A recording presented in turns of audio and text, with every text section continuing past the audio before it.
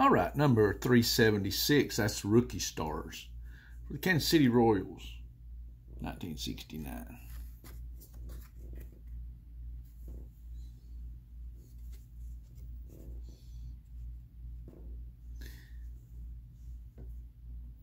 glare, right? Gary Bell.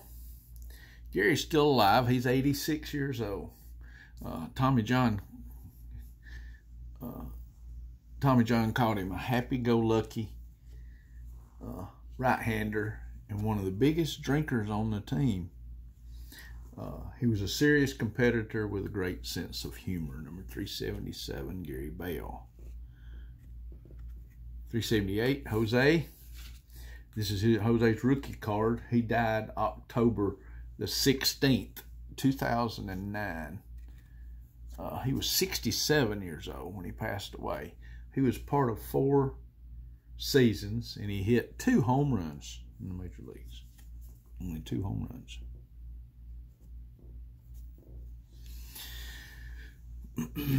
Ken Boyer. Ken died September the 7th, 1982.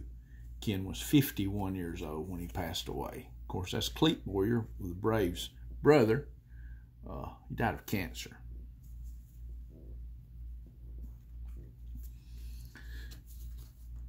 Stans, he's 78. He's still alive. Uh, he works in the promotions department of uh, MSC Cruises and uh, seeking and securing retired major league players to participate in activities on cruise ships such as autograph sessions and storytelling. So he's still working with baseball with Cruise Line. Stan Bahnsen. Ed Kranepool. Ed's still alive. He's 78 years old. Uh, after retirement from baseball, he made a living as a stockbroker and a restaurateur so he was in the restaurant business and in the stock business, stock market business. Still alive at 78. Pat Corrales. Pat's still alive. He's 82 years old. Uh, in high school, he was both a baseball and a football star. Pat Corrales, 82, still alive. Casey Cox. Casey Cox still alive. He's 81 years old. And he was uh, entered the world of insurance after his baseball career.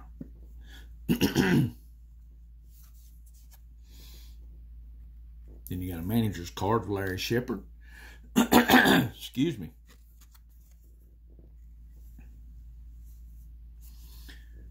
Orlando Cepeda. Orlando's still alive. He's 85 years old now. Uh, he belongs to 14 Hall of Fames, the most by any Puerto Rican athlete. 14 Hall of Fames.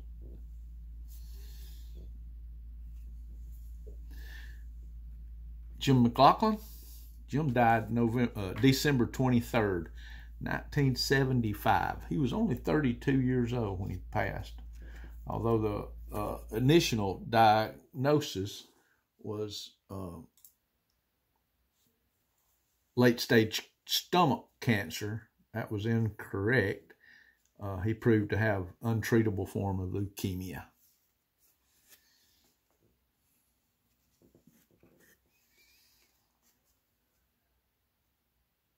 Bobby Klaus, Bobby's still alive. He's 85 years old.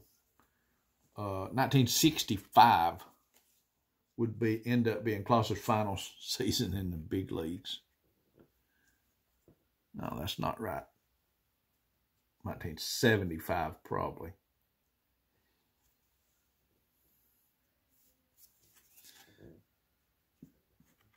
Tom McCraw.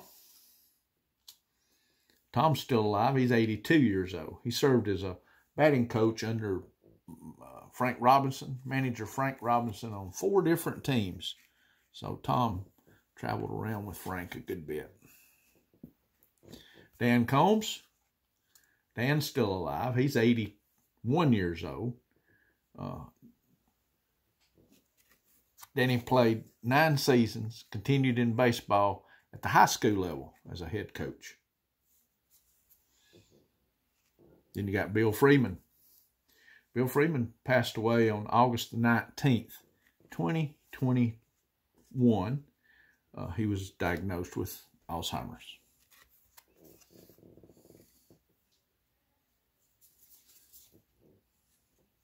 Ray Culp.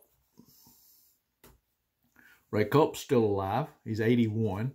His first year was an impressive one. He compiled a 14-11 win-loss record for the Phillies, was eighth in the National League in strikeouts, although his control was a little shaky. Leading, he also led the league in walks with 102 that year. So good stuff, but no control. Ray Culp.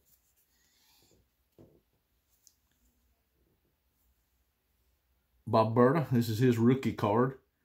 Uh, Bob's still alive. He spent 15 seasons from 1958 to 1972 in professional baseball.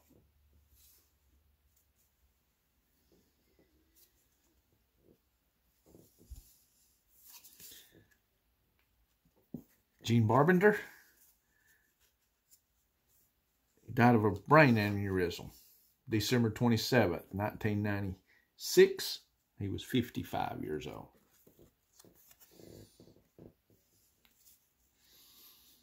Then you got the pilot's rookie card, 1969, which uh, Lou Piniella went on to be a manager.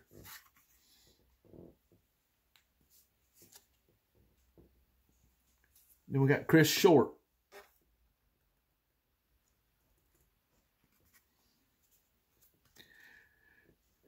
Chris died October 1st, 1991. He was 53 years old when he passed. Uh, in October of 88, he suffered a ruptured brain aneurysm, lapsing into a coma. He died August 1st of 91 uh, in a convalescent home, having never regained consciousness. So from 88 to 91, three years of unconscious. So sad. Jim Campaneris.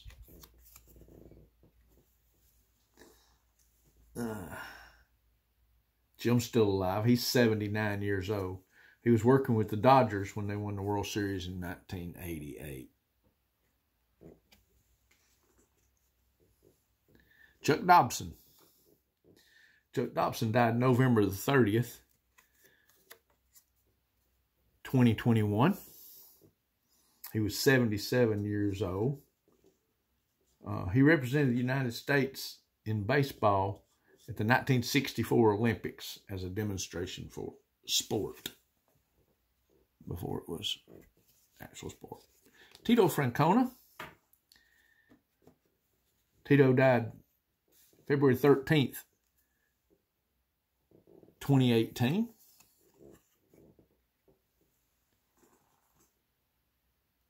Tito was 84 years old. Uh, Francona was the director of Parks and Recreations in New Brick, New Brighton, Pennsylvania. Tito.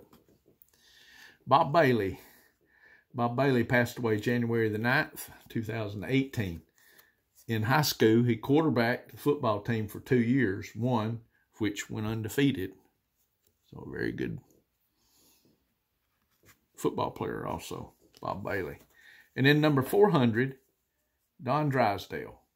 Don passed away July the 3rd, 1993. Uh, he was 56 years old. Hotel personnel went up to Drysdale's room. They discovered his body lying face down on the floor. Cause of death was ruled as a heart attack, and the coroner's report determined that Drysdale had been dead for at least 18 hours by the time he was found. Don Drysdale.